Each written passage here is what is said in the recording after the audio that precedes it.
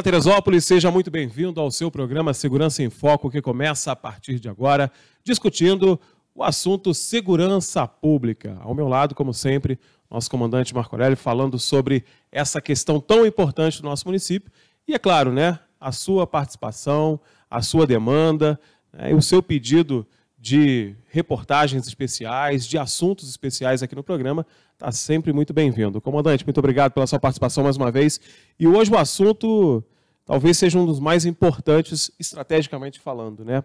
Como a gente vai lidar com o fluxo de novos cidadãos teresopolitanos, né, que recebemos aos montes quase que diariamente no nosso município, ou seja, muita gente escolhendo viver em Teresópolis, estabelecer residência em Teresópolis, por conta, inclusive, da segurança pública. Eu vou começar perguntando ao comandante justamente isso.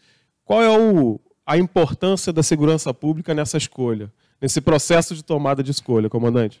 Bem, a todos, sejam muito bem-vindos ao programa Segurança em Foco mais uma vez, né? E vamos lá. Né? É, nós entendemos que segurança pública é algo primordial, porque muitas vezes muitas dessas pessoas que estão vindo para Teresópolis, não só a turismo, mas também para permanecer, para fincar residência em Teresópolis, elas vêm por um, uma coisa básica, né, que é chamada segurança. Não é isso? É, mas só que a pessoa não vive só em, em razão da segurança. Né? É, a gente entende que tem que existir outras políticas públicas né, que sejam capazes de absorver todo esse trânsito de turistas e todas essas pessoas que querem vir morar em Teresópolis, né? para que elas não saiam daqui frustradas. Né? Venham pensando que é uma coisa, vêm para o turismo pensando que é uma coisa, chega aqui no dia a dia, é uma outra, coisa. Né? Então, é, é, não basta ter só a segurança pública. Acho que a gente precisa é, incrementar outras políticas públicas que sejam capazes de absorver é, todo esse público que, que transita em Teresópolis. É, a segurança pública, de uma forma geral, eminentemente, tem sido de responsabilidade estadual, né, comandante? A gente tem o Estado como responsável pela, pela segurança pública. Mas o município tem, ao longo desses últimos anos, dessas últimas décadas, ganhado força nesse processo né, de estabelecimento de, segurança, de políticas de segurança pública em conjunto com as forças estaduais. Nesse nosso caso aqui, ainda mais, né, comandante, porque é, o município tem que estar em acordo com o que o Estado pensa do que seja segurança pública para absorver esse crescimento também. Né? É, na verdade, é, a participação municipal ela é muito mais no que tange a infraestrutura. Né? Então, nós precisamos de infraestrutura né, que permitam que os serviços de segurança cheguem com mais qualidade às nossas comunidades, ao nosso entorno. Então, na verdade, é, o município ele precisa desenvolver é, programas que venham a facilitar os acessos, não, é? não só de segurança pública, mas também de, outras, de outros serviços públicos, né? como saúde, saneamento básico, é, educação.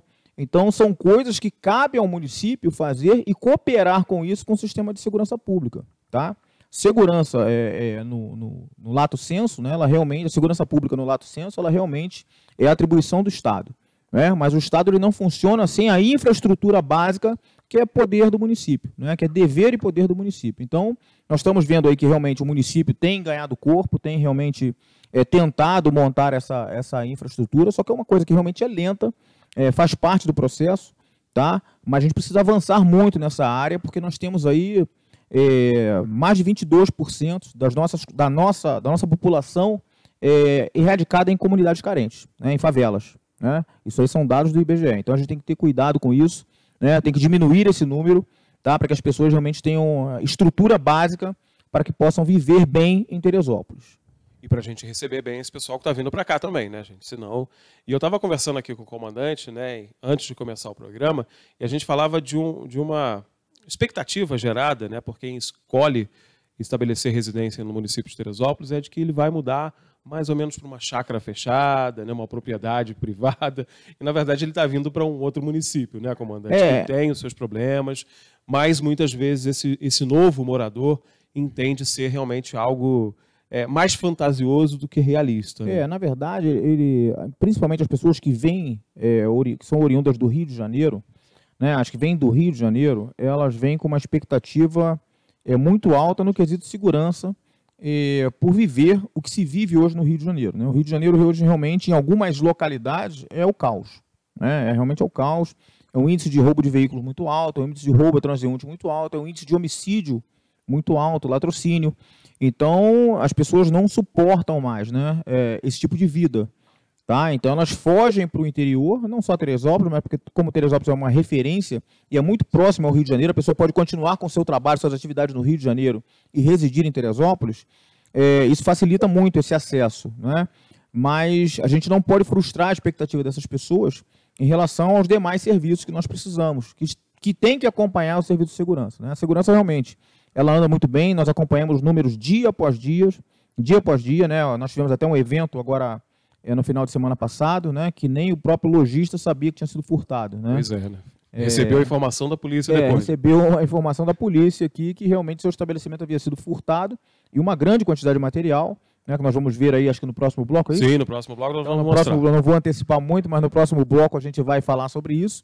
Mas a gente vê que realmente a, a atuação policial ela é muito proativa é, aqui em Teresópolis. Né? Nós temos um diferencial muito grande das ações que rotineiramente que cabem à Polícia Militar na capital, até porque ela demanda também de trabalho que eles têm lá embaixo, né?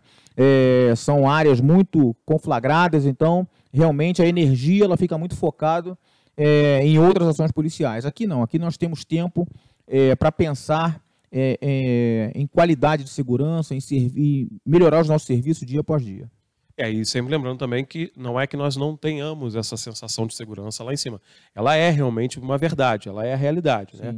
É porque cria-se uma expectativa é, superior a isso, né? Então, é verdade, é verdade. Porque a gente quer dar um, né, um choque de realidade. É, é realmente muito mais A gente seguro. vê que, na verdade, é, os eventos é, acontecem aqui Sim, em Teresópolis. Claro. Né? Não vai dizer que aqui não acontece. Claro que tem o roubo de celular, claro que tem arrombamento de veículos, claro que tem é, furto em residência numa menor escala, e invariavelmente os autores são presos. Né? Invariavelmente aqui os autores são presos, ou pela Polícia Militar ou pela Polícia Civil.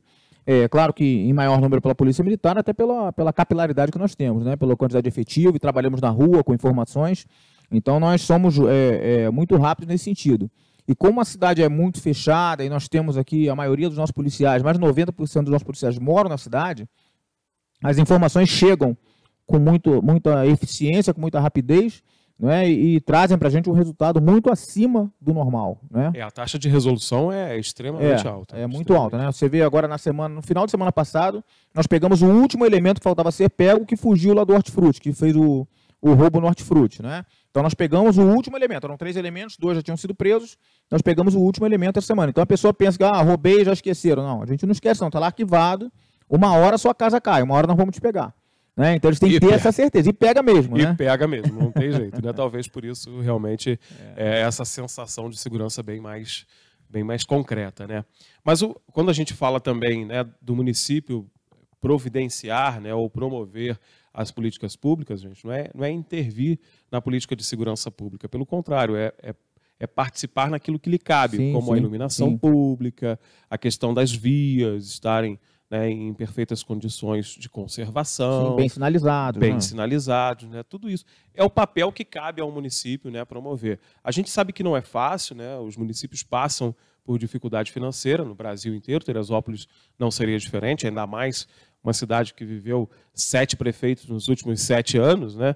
Já fica difícil com um só, né, é verdade. Com é sete em sete anos fica difícil realmente fazer alguma coisa. Mas isso faz parte né, das incumbências do Poder Municipal e tem sido bacana em Teresópolis, né? Sobretudo na participação do diálogo, né, comandante? Sim, sim. Isso eu acho que é um ponto importante. É, nós temos uma parceria muito grande com as demais instituições, tanto na esfera municipal como na esfera federal.